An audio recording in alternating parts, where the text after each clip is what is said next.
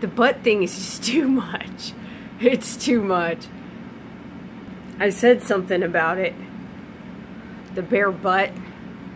I said, what did I say? I said,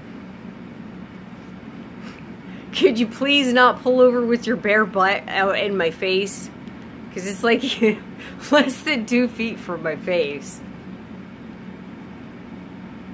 And he was so offended. Like, how dare you ask me that?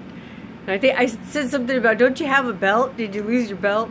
Yeah, I wasn't like trying to be funny or anything, and I wasn't. I was just kind of like straightforward, you know. And and then that was like two or three days ago, and there's been like just as much, if not more, bare butt before. So saying something didn't work, but the reaction was just like, "How dare you ask me to to not bare my butt?" so I don't know. I don't know. It's pretty bad.